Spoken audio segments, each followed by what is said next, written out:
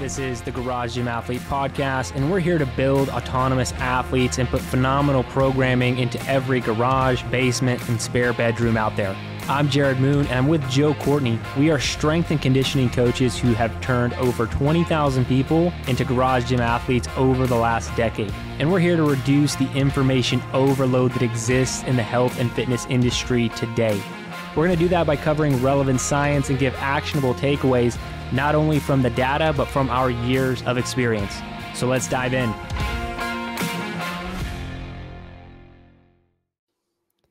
All right, ladies and gentlemen, welcome to the Garage Gym Athlete Podcast. Jerred Moon here with Joe Courtney. What's up, Joe? Hey, two in a row. If, yeah, we depending on how the order we publish these in. He's he's here uh, again. So yeah, we're gonna we're gonna be updating updating everybody at Garage Gym Athlete. Um, no science today, no tips or hacks. Um, so if you are really just interested in what we've been doing uh, in our training, in our lives, how we've been kind of balancing it all, uh, where the hell Joe's been, all those kind of things. If you want to get into, if you want to hear those things, stick around for this episode. I just want to be very upfront with what this episode's about, way more casual, and just giving everybody updates, um, kind of behind the scenes with a Garage Gym Athlete. Well, let's start with you, we Joe. Might, You've been, oh, go ahead. We might not have official science, but we always have tips. We always got tips. We got tidbits. We always, always glean there, something. There's there's a nugget that you'll get for sure. I'm not saying there's no value here. I'm just uh, just letting everybody know uh, that we're not getting into how much protein you should eat or whatever else. Um, so anyway, Joe has been absent for a while. Uh, what's up, man? Where you been? What you been doing the last couple of months? Yeah, so mid December of 23, we uh, moved from California, did a road trip, and now we are in Spain. We got here mid January, so we had about a month of driving cross country from California to Virginia, making a bunch of stops along the way. Did a lot of fun stops, uh, Zion, uh, Durango, and then visited family in Dallas and St. Louis, and then ended up on the East Coast, seeing my family and friends and stuff. And then we flew to Spain. So now we are in Spain, and as of a week ago, exactly. We moved into our house, got all of our stuff in at the same time. Um, been moving in this past week, been ordering stuff, getting everything hooked up. Still hooking some stuff up, but we're you know we're ninety percent moved in. We did it all pretty quick. Um, still adjusting for especially my office is like the last thing because there's a whole lot of you know internet and power stuff to get set up. But that has that is what I have been up to, where I've been, and why I've been absent. That's a that's quite a journey. California to Spain. Like you just look yeah. at a globe. That's a it's a far hike. Um so have you worked out in the last two months? Yes. All right. Good. There so, was a there was a there was a hiatus for for like two or so weeks. Um, for sure. yeah. So um let's I, I want to dive into that because I think that's some of the hardest times uh to stay stay in fitness is when you're traveling and not only traveling like there's there's a vacation where you know you're gone for like four to seven days or whatever and it's like okay i'll try to get in like two sessions or three sessions or whatever but traveling for two months um you've got a young kid you know and going across the country no real you don't even have your stuff you know you don't have like your gym what have you been doing how have you been trying to stay on top of some sort of fitness routine when your life is all crazy like that? So the first couple weeks, it was a lot of hiking. We did because we were in Utah and then Colorado, so we pretty much just hiking and walking around, not not actual workouts. Uh, just before our last night, before we hit um, reached Dallas, we actually went to the hotel gym. We do we did bring bands. We did have bands in our suitcase, so we used bands a little bit, not as much as I would have hoped to, but that's how we did. Once we got to Dallas, we um, went on runs because there was actually it was actually we were actually able to run there. We were, I didn't think we we couldn't really run through like Durango and stuff. It was like a little snowy and icy. So we we, we did some running there. Um, did some other. I, I popped in to to your house and we did that workout that you guys made me do after going out to lunch. just sprung that on me. Like I come over and you're like, "Hey, we're going out to lunch." Like, all right, cool. I guess we're not working out. And then you're like, "All right, we're gonna go work out." And I'm like, "Well, shit, my stomach's full." Um, anyway, yeah, that wasn't fun, but I did it. Yeah. Um, and then yeah, and then we had another week or so when we were in North Carolina, and I actually um, I had to go back to California for guard stuff, and I actually like hit the gym whenever we had the opportunity to hit the weights. We hit the weights. Whenever we had openings and it was like uh, clear enough to go for runs, we went for runs. Even when it was because when we were in Dallas, it was freaking cold. Like our when we left out for our runs, Yeah. the fe- the feels like was were in the twenties, which was not pleasant, but we kind of just had to do it. So it was sort of working with what we got. And um, in Norfolk, we had there was like a treadmill in the the hotel. Was also super cold there, so we just used it um, there as well. And I did. Liz had to go in for for some work stuff when we were in Norfolk, so I was doing so uh, push up grids or grids. I would pair like superset grids. I would pair that like push ups with the core or like squats. Um, and I did that like every 30 minutes. I had an alarm going for a couple of days. Then we got here and we've actually been able to um, go to the gym because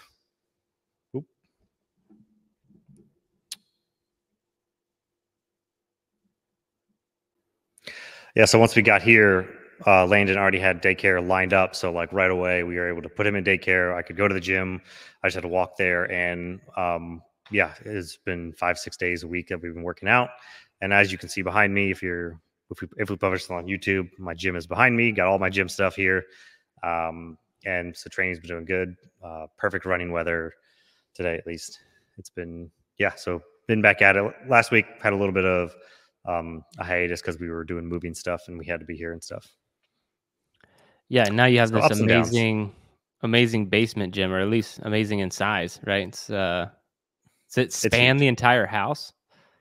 It spans more than the house. So Wow. like you can see like the ceilings are probably nine nine feet, um, at least maybe a little more. And then as it goes out where the where the house ends, it comes down to like right at six six one, and then that's like where the patio is. Like so, the outside, it's still part of the property, but not the actual house. So it goes beyond what the actual house square footage is.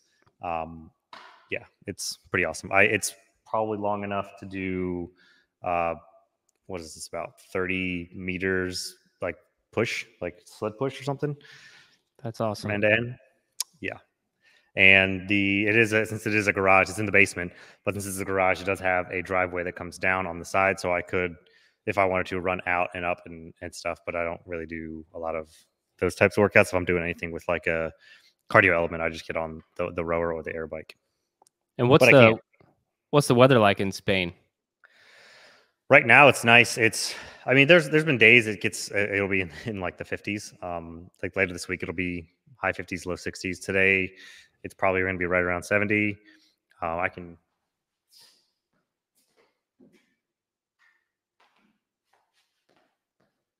so i got the thermometer on my gym thing it's 66 degrees in here and 69% humidity so it's about usually it's about 60 70% humidity down here mid to high 60s in the basement. It's fairly humid, but I think Yeah. that's pretty common with It'll- basements. Yeah, it'll be worse in the summer. Um, it does get pretty hot, like 90 degrees, 90, 100% humidity. So we'll see how the basement goes. I know the, the moisture inside houses are a bit of an issue. We already have a dehumidifier that I'm running down here around the clock. Um, so summer will get hot and muggy and sticky, but I think I'll still be fine. I, I I'm okay with with a bit of heat, especially after Bahrain. I mean, just I'll, I'll Yeah. be good. It's all all easy from here. Yeah, Bahrain nasty. Uh, I mean, San Diego, Monterey, you've been in some pretty mild situations, Yeah. too, climates. Monterey Uh, was less desirable. It was it was deceptively cold. You look at the temperature and it might say 60s, but like the breeze coming off the water, it was like 10, 15 degrees, like Yeah. wind chill. So you're 50. so like it it might feel like Could 50. In the 40s. yeah, I mean I think that's I think like the perfect fitness temperature is probably like well, I think for performance it's probably like 50 in the 50s. I think if you want to sweat it's probably in the 70s. Um Yeah. But that's awesome, man. Well, I'm glad that you're back on the podcast. I'm glad that you're getting settled and and how long are you in Spain for? Two years. Nice. That's awesome. Probably two dude. and a half, maybe. Yeah. So good chunk. Well, uh, more or less the same for me here um, in Texas. I I mean, we do have a lot going on. We are uh, building a house, trying to sell a house. Um, that makes things like a little outside the normal routine, but nothing compared to like moving across the country and not having a house for two months, being homeless and all that kind of stuff. So I don't have I don't have much to say in that regard. Um, I've been pretty consistent in training, just knocking things out. Um, I think I'll give a quick update just on 50k training and um, some new protocols I'm talking about. So recently did a podcast called The Future of Fitness, where I think things are headed and what I want to experiment with. And I just recently started some of those protocols. So if anyone's been following along with my kind of 50k training, I've been doing running basically three days a week, and then the other three days a week I've been doing strength training, specifically uh, body geometry, which is our like one of our strength uh, training methodologies. And now I am transitioning in this uh, more recent block to still running three days a week, but I am trying more mixed modality training those other three days. So I'm really experimenting with these protocols before I bring them to Garage Gym Athlete. And what they are, um, some of it's interval weight training, which we do at Garage Gym Athlete. Some of it's like EMOM stuff, but like really long EMOM stuff, like 40, 60 minute EMOMs, things like that uh, to where we're combining. What I'm trying to combine is work to rest ratios that make sense with some strength training, enough volume to actually still get stronger, um, but then also adding like a heart rate element into it. So, like having a, let's just take interval weight training session that would be VO2 max uh, beneficial. So it's like higher heart rates. Like you need to maintain zone four for the interval weight training session for each round. Then you come you come down, you recover after each one. Um, those those sessions take about an hour. The EMOM sessions, so I might have like a 60 minute EMOM session where I'm going for a full hour. I might have four different movements, um, four to six different movements that I'm switching every minute on the minute, and some of them will be strength training, so be like a push press, and then next I could be on the rower. Uh, then it could be a kettlebell swing. And then it's really just adding these things up to try and get enough of a stimulus for strength training, but also following some sort of heart rate training protocol um, to see benefit in that regard as well. So this is, in my opinion, this is pushing concurrent training to the limits of what can be possible. And I really don't know what's going to happen. Um, I mean, obviously everything's gonna be fine. Like I'm not, it's not gonna be crazy. I'm just talking about, I don't know if I'll get a lot weaker or lose muscle mass or gain muscle mass or get stronger. Like there's a lot of uh, science that this can go both ways. So I'm I'm experimenting with it a lot. I think right now though, like overall enjoyment level is like 10 out of 10. I love I love and always have just like grunt work. Like just okay, those are the things that I need to do for the next hour. Like let me just move through them. I actually as much strength training as I have done in my life, I don't I don't love just doing doing a set and then resting for two or three minutes and then doing another set. I've always just preferred to be moving, even if it's like a strength movement, you know. Um, so that's that's just my preference for fitness in general.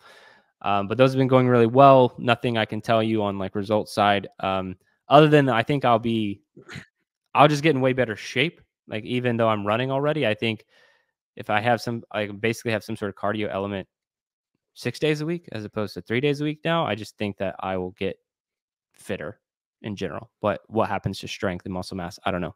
But there's also I was looking at a lot of research that says there there has to be like this metabolic waste involved in gaining muscle mass. Like you can't just go do three sets of 10 and it and get stronger and and gain muscle. Maybe when you first start, uh, there has to be there has to be an insult to the muscle. There has to be that micro trauma. There has to be metabolic waste. So the these um, heavy loads, you know, thrown into these this type of training session, um, it's quite taxing, and I I feel it a lot more than I would in a strength training session. Um, I feel more of a pump. I feel more of a burn. Um, so I'm very interested to see where this goes. So I really think it's it's headed in a in a cool direction. I really enjoy the training. You think you're going to take some of that to the next cycle of Hard to Kill? Yeah, that's that's the plan. Like I want to bring it to the next uh, cycle, hopefully the second cycle. Let's see. as time at the time of recording this. Yeah, I'll be able to test it for a solid six weeks before I decide what I want to do. Probably not the full protocol where that's all you're doing, like I'm doing, but at least some of those ideas, bring them to the next cycle and hard to kill. That's uh, ultimately my goal. So if anybody's interested, I've mentioned this to several people, and a lot of people are very interested in it, like more so than I thought would be. People are like, "Oh, dude, the second you get that going, like let me let me know. I want to be a part of it." Um, and I didn't think that'd be the case. I thought it'd be more of a turnoff for people. They'd be like, "Uh, no, I'd rather just do my strength and then my conditioning or whatever." Um, because this is this is different than anything like I talked about CrossFit in that future of fitness episode. It's different than all those things. It's it's trying to take everything I've learned from endurance and how to actually improve endurance and adding it to like the strength world and like circuit training. Um, like some of the papers I've read on this even go back to like 1969. Like that's how far back some of this type of training goes. Um, so it's it's really cool. Now, as far as running, um, I also talked about that in a recent podcast episode, and not a lot has changed there. So, you know, I um, hurt my back again, and then uh, my run coach kind of fixed it through improving my cadence, um, and that's just kind of held strong. So that's still going. It wasn't like a fluke. Um, I'm running three days a week, decent amount of volume, still not as much volume as I was doing. I've uh, pretty much figured out my cadence. I'm I'm hovering in like the still 170 to 180, probably 175 to 180. Really, I'm I'm pretty much landing my cadence in that higher range, um, and I'm feeling a lot better. Um, my body feels a lot better. I still am running a little bit slower, which is, has been a little bit frustrating. Like I can't.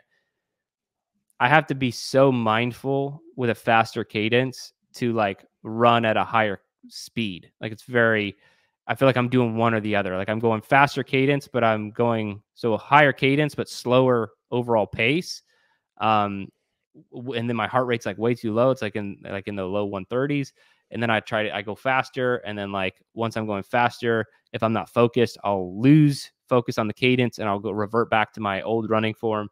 So it's still a lot of work. And that makes sense to me because I've run the same way incorrectly for uh, I don't know two decades and i'm trying to like undo all of these running patterns and poor movement patterns and like this low cadence that i had and all this kind of stuff so it's still a lot. I am like finding more of a groove with it and learning how to do it um, but it's still it seems to be the best best fit for me because i'm not hurt right now um, and i don't i don't think i'll go back to high volume. I still plan on doing the 50k uh, but i'm just going to kind of be like hey i ran as much as i could run without getting hurt. I'll do the 50k see what happens. I won't be as prepared as I wanted to because I should be doing like three hour runs and like all these kind of things that I was doing before, but um I'm just not doing it all. I'm doing as much as I can while balancing a new run for new running form and not getting injured again. So that's that's kind of where I'm at with 50k stuff. Yeah, I guess I could say my my side of that as well for um for running. I, I was talking about my heel pain back a while before, and I, I did get a running PT that I saw um, through video a couple of times, and I just happened to while while on the road trip. He's he was located in Maryland. I actually happened to see him in person, and I got an in person consult. And I still uh, in touch with him um, through the internet, and so while traveling, I have been working on some of that, some of the exercises, um, a lot of mobility, stability stuff, and then as well as the running form. Like changing my running form has been a process and getting used to it. And because I was overstriding, um, and yeah, that's I, I'm still still working on it with with my zone twos, but I also know that I need to not just do zone two run. I need to actually do some speed work. So now that I'm here and more consistent, I'm making myself do, um, you know, only limiting myself to, I guess, one zone two run um, a week and making sure that I do at least some speed sprinting, like uh, running um, once a week as as well because the weather here is just good enough for that. But it since it's it's good enough to start running and and to I ran today and I, I think it feels fine. But it's still afterwards my heel my heel still has some issues. But like everything, it's it's a it's a kind of a slow process. When you say overstriding, what does that mean? Like I my front foot is going out a bit too far. So, so like I think I yeah, yeah, yeah. So um I think it, it makes my hamstrings work a little bit too much and put too much stress on my heel. So I need to essentially put my uh, and put my foot more more so under my center of gravity Mhm. and have my quads sort of cushion more. And I noticed when I when I was doing my all my form running, I was going to my first couple of runs, my quads were like super fatigued afterwards because it just wasn't used to catching myself on that position as much. And um, yeah, so it's it, it's been a process, but you know, it's I I think it's already sort of um, catching on.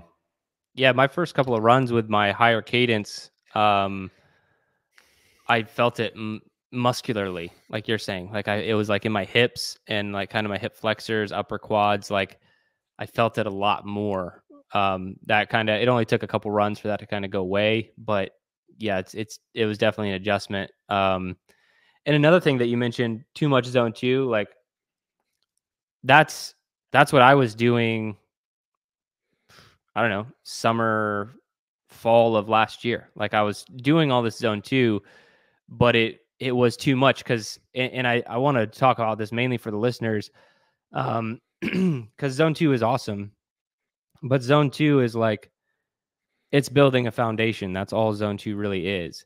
So if you know, just to take that analogy of building a house, like if all you did was like build the foundation and then you come back out the next day and you're like, oh yeah, I'm gonna I'm gonna sweep the foundation. I'm gonna I'm gonna smooth the foundation. I'm gonna pet my foundation. No, you got to build on top of it at some point, right? You gotta you gotta start doing the other stuff that builds the house, and that is the VO2 max, the intervals, all these other kind of things.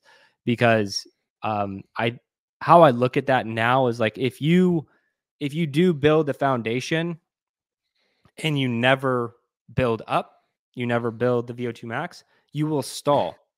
And some people need a lot more VO2 max. For us, and this is my theory too, is that we already get enough zone two training through like strength training and all the other stuff that we're doing, not just zone two running, that we do have a pretty solid base. So we need a lot more top end. Um, but that also comes with an asterisk, right? You can do too much top end. So once you build the foundation, you have to build up. And then if you're like, I can't build up anymore, well, now it's time to add a little bit more foundation. And that's fitness. That that's the domino effect. That that's how it's going to work. Like zone two, you can build this massive foundation. It will only go so far.